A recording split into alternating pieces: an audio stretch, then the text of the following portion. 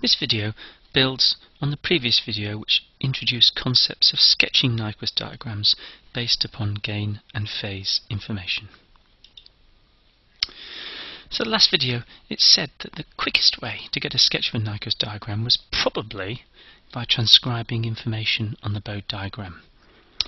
And if you want the plot to be accurate, then it's probably only needed near the negative real axis or where the gain is approximately unity. So what we're going to do in this video is give a number of examples illustrating this technique. Students are reminded, however, that the focus on sketching is mainly because you'll find it useful when ultimately we move to control loop analysis and design. So a reminder of the basic procedure. Firstly, use the asymptotic methods, asymptotic methods that is, used in the Bode plots to give yourself a rough Bode plot. So what sort of things do you need to know? What happens as omega tends to zero? What happens as omega tends to infinity? And roughly, and the key word here is roughly, how do gain and phase change for frequencies in between? And that's linked to the trend information which was given at the end of the previous video.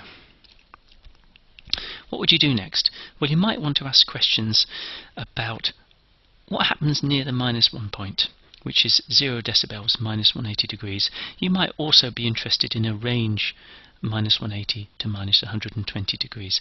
And it's often quite useful to have a couple of precise points just to make sure the plot is accurate enough in that region. And finally, what you're going to do is tra transcribe this information into the Argand diagram, using the sort of trending rules such as decreasing phase means you're moving clockwise and reducing gain means you're approaching the origin.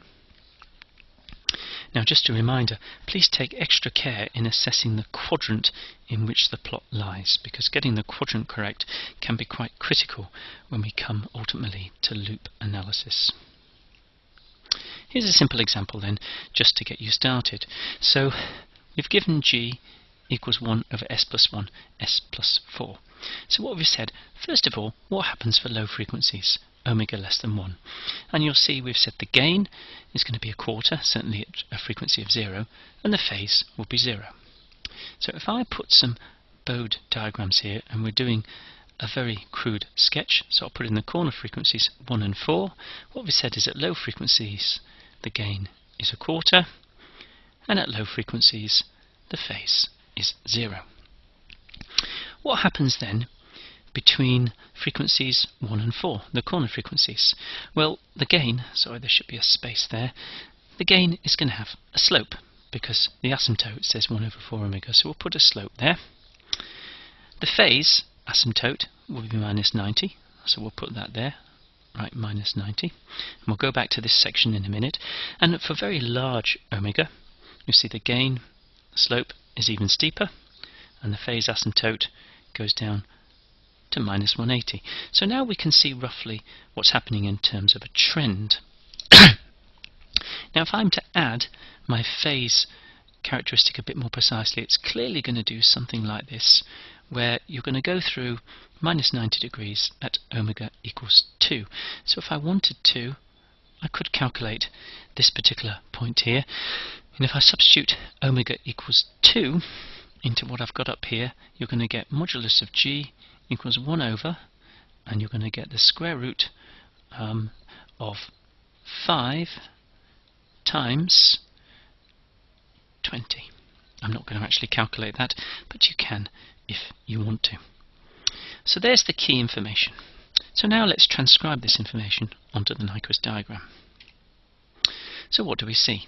You see we start, as we said, at a quarter. We noticed that the gain was always decreasing. So if we measure distances like this, then what we need is that these distances are always getting smaller. So we've done the uh, real axis, and then what we said is between omegas between 1 and 4, we said the gain was reducing and the phase was reducing. Now we could, as we indicated, calculate this particular point exactly, but the most important thing is to say let's sketch a plot where the gain is reducing and the phase is reducing. We also noticed that for omega bigger than 4, we were tending in to the negative real axis with a gain of 0. And consequently, you can see this plot meets all the trends in the information that we were given. So that pretty much a reminder of what we did in the previous video. So now we'll do a few other examples. Um, here's the first one then. 3 over s plus 2. So again I'm going to start by doing my Bode diagrams. Now this has only got one corner frequency. I'm just going to mark it there at 2. And what you'll see is at low frequencies my gain is 3 over 2 and then for high frequencies the gain goes down. For low frequencies the phase is going to be 0. At high frequencies the phase is going to be minus 90 and clearly it will move between the two and you could calculate exactly at omega equals 2 you've got minus 45 degrees. So we've got our trends there. The gain is always reducing, the phase is always reducing, the phase goes from 0 to minus 90. The gain, so let's put that here, starts at 1.5. We've got, we approach the origin in the direction of 90 minus 90 degrees. But critically, what you'll notice here is we're always in quadrant 4. You notice from this phase plot, it never goes into quadrant 1 and it never goes into quadrant 3. So what we need to do is just make sure the gain reduces, the phase reduces, we approach the origin along the negative imaginary axis and you're going to get a smooth plot, something like this. Now you'll notice I've not put any scales on this plot. I've not put any numbers. I don't need them at this point because I'm just trying to get an impression of how this curve is moving. What about this one here then? So I've got 3 over s plus 1, s plus 2. So again, if we use the standard uh, trick, I'm going to start by doing the Bode first and then filling in details later as I need them. So mark a corner frequency of 1, a corner frequency of 2, I can see at low frequencies I'm constant, then I get a slope and a steeper slope. So what you can see is the gain is always reducing. So what we've got is here the gain is 3 over 2 and then down here we'll put gain reducing. Th those are the key observations we need. What about the phase? Well, you'll see the phase, if we do the asymptote type information like this, then I can write that the phase is going to follow something along these lines. And clearly, this minus 90 degrees is going to correspond to omega equals root 2. I'll put minus 180 degrees is the final point. So what's happening with the phase? So omega less than 1, you've got roughly 0 degrees. Omega greater than 2, you're tending to minus 180 degrees and between omega between 1 and 2 at some point and I'm going to put here omega equals root 2 you get minus 90 degrees. So there's the key information. Now I could mark the quadrants, that can be quite useful. You'll see we've got quadrant 4 up here and quadrant 3 here. So the plot remains always in quadrant 4 and quadrant 3. It doesn't go into quadrant 1 or 2. Now the final thing I can do is I can actually take this omega equals root 2 up and say can I calculate the gain at that particular frequency because that can be useful. So if I do that I'm going to get the modulus of g equals 3 over the square root of 3 plus sorry 3 times not 3 plus 3 times 6 which is 1 over root 2. So the gain is 1 over root 2, where the phase is minus 90. So we're going to mark all these points now. I'm going to start at 1.5, as given. So therefore, if this is roughly minus j, then it's going to cross somewhere like that. Now what else have I got? It approaches the origin in the minus 180 degree direction, but in quadrant 3. So it approaches the origin in that sort of direction there. Okay, we know the gain is always decreasing, we know the phase is always decreasing, so I can now draw a smooth curve through the points I've got, information I've got, and I'll end up with a Nyquist diagram something like that. Now for this next one you'll see I've moved to cubic, 3 over s plus 1 squared times s plus 2. And so it'll be just a little bit more complicated. So again, I'm going to do my Bode sketches, and I'm going to mark 1 and 2. And you'll see the gain, again, is constant up to 1. We have a slope down and a slope down. So again, you find you've got 3 over 2 for low frequencies, and then the gain is decreasing. I'm not going to write it all because we're just indicating key points here. So the gain starts at 3 over 2 and then it's decreasing, so you're always getting closer to the origin. So there's where we start, 1.5. What about the phase? Well, the phase starts at 0, it will drop down to minus 180 and then to minus 270. So if I write that there, minus 180 minus 270. So the phase, again, is always decreasing. That's important. But asymptotically, you've got minus 270 degrees, and you start from 0 degrees. So you approach the origin in the direction of minus 270. So I'll draw an arrow there to indicate. So you approach the origin in the direction of the minus 270. And if again, if I mark the quadrants, you'll see it means you approach the origin in quadrant 2. And you're also going to spend some time in quadrant 3 and some time in quadrant 4. So you start in quadrant 4, move into quadrant 3, and finish in quadrant 2. Now you could do a few explicit calculations if you really need them. So for example, you could say, let's try omega equals 1. And the reason I'm using omega equals 1 is because of what I've got there. So what you'll find is modulus of g of j1, and you can do this by yourself relatively easily, gives you 3 over 2 root 5 okay, which is approximately 0.7. I'm not going to put it in the calculator. Now, similarly, you could find the argument. Now I've run out of space to fit this in, so I'm just going to write it, overlap it here. So the argument of g of j1, what you're going to do is you'll get minus 90 from these two s from the s plus 1 squared, minus 45 from each, and then from the s plus 2 you'll get minus 26. So what you'll see is that you're 26 degrees into quadrant 3 when the gain is 0.7. So that's going to be something like there. See where I've marked the cross. So now I can use my information as before. I've got the right start point, I've got somewhere to hang myself, I know what the trends are, always getting closer to the origin, always moving anti-clockwise.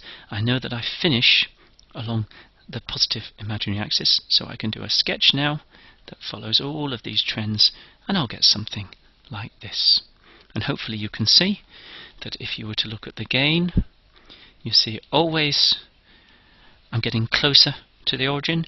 If you look at the phase, always moving anti-clockwise, and I've made sure I've moved through the two points that I had. Now a final example, just to look at the impact of zeros. You'll notice here that I've got three examples which have got the same denominator, s plus 1, s plus 2, but what I've done is I've changed the zero position, minus the third, minus 1.5, minus 10. And I want to see how does the Nyquist change as I change this zero position. And the sort of thing you're going to notice is if the zero is the smallest, then the phase will go anti-clockwise before it goes clockwise, and the gain will increase before it decreases. Okay, so we'll do the Bode sketches, and you'll see this. So first of all, I'll do my gain sketch. What I'm going to do is mark the key points. I had 1 and 2. Those are the poles. We've also got 10, which is the smallest zero. We've got 3 over 2, which is one possible zero, and we've got a third. Now don't worry about the fact that that's not a very careful log scale, because we're only doing a rough sketch to see what's going on. So if I start in blue with this one up here, you'll see the gain starts at 3 over 2. There it is. When we get to the 0, we'll have an upslope. When we get to the 1, we'll go flat. And then when we get to the 2, we go down again. So there's the asymptote plot for the first one. for this second one, you'll see we've now put the 0 at 3 over 2. So what will happen is you'll get to the 1, and then you'll go down, and then the slope will go flat, and then you'll go down again. Now what you notice is you notice the gain of this second one is significantly less than the gain of the first one, and the gain is always reducing. And then finally, if I do this last one, where I've moved the 0 over to s plus 10, you'll see we go along here, the gain goes down, the gain goes down faster, and then goes back. So the last one, the gain is even smaller still. So there's a clear difference between the gain plots for these three. Now let's look at the phase plots. Now I'm going to need to mark some points on here. So I need 0,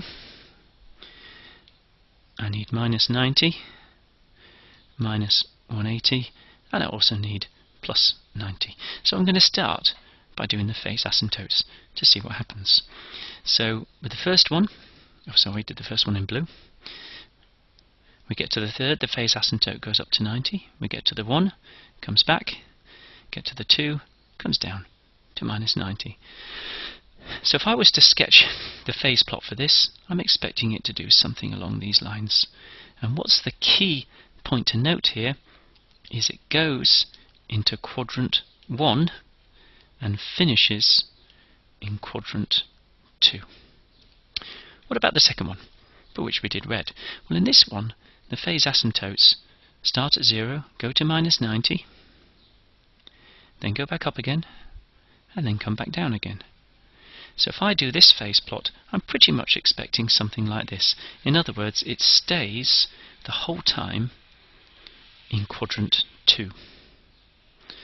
Now for the third example, you'll see, oh sorry, that, that I've just noticed I made a silly mistake with that red one.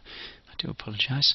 I'm just going to correct it. So we, um, I should have stayed there and then done that. Do apologise. Okay, now for the black one, what you'll notice is again we stay at 0 degrees till we get to 1, go down to minus 90, get to 2, go down to minus 180, get to 10, and come up again.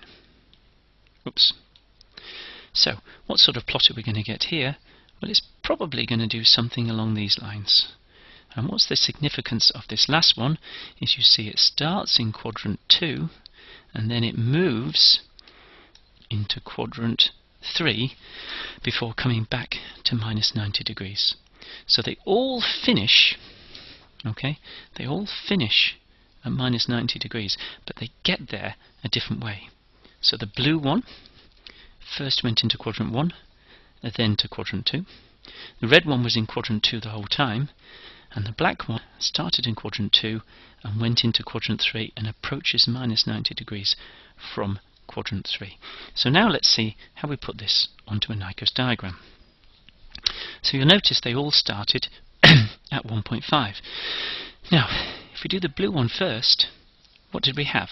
We had gain going up, phase going up at low frequencies, and then only later on did they both start coming down. So if you follow this through, you'll see you end up with a plot something like this. So you approach the origin in the minus 90 degree direction in quadrant 2, but initially it went into quadrant 1. Okay? And you'll notice initially we had increasing gain, increasing phase. And that's what this bit around here does. You'll see the gains going up, the phase going up. What about the second one? The second one stayed entirely in quadrant 2. The gain was always decreasing and it approached the origin within quadrant 2 in the minus 90 degree direction and you'll get something a bit like this. So that was the second one. And then for the third one, you'll see it started in quadrant 2 but moved into quadrant 3 and um, before again approaching the origin in the minus 90 degree direction. So you're going to get something that does this. Okay? So what do you notice? As I move the zero position, I get very different Nyquist diagrams. But the other thing you notice is extremely simple sketching. Allows me to see exactly what's going on and to see the differences in the shapes. Now very quickly we're going to move to MATLAB and show how easily you can use MATLAB to check your results and see what's going on. So if I go to this MATLAB window here, you'll see I've got some code written out. So this code is for the um, 3 over s squared plus 3s plus 2. So if I run that code, and there we go, and there you can see the sort of plot we got for that example. You see starting at 3 over 2, coming round through quadrant 4 into quadrant 3, approaching the origin in the minus 180 degree direction. When we added two poles at minus 1 and one pole at minus 2. And there, what did you see? Again, starting at 3 over 2 and circling round, you'll see through quadrant 4, quadrant 3, into quadrant 2, approaching the origin in the minus 270 degree direction. And the final example, where we showed all three together. And what do you see? You see the first example, you see how it starts at minus 3 over 2 and first goes into quadrant 1 and does this big loop round before it comes back to the origin in the minus 90 degree direction. The second one stayed entirely in quadrant 4 and then the last one, you can see which here is done in red, comes round into quadrant 3 before coming back to the origin. Now, you'll have noticed with these plots that they've all got a mirror image. We'll talk about this mirror image uh, later, but for now, don't worry about it. Now, if you haven't picked up the key statement to do this on MATLAB, you'll see it's here, is just Nyquist G. Create your transfer function object and then just put it in the brackets. So conclusions. We've demonstrated you can form a Nyquist diagram very quickly for simple transfer functions. And the basic technique is to sketch the Bode diagram, and you'll see it's a very crude sketch to get an impression of how the gain and phase change, and then just transcribe this information into the complex plane. We've also demonstrated very briefly that MATLAB's a good tool for generating the exact plots quickly, um, and indeed you can use it to check your hand-drawn sketches and understanding.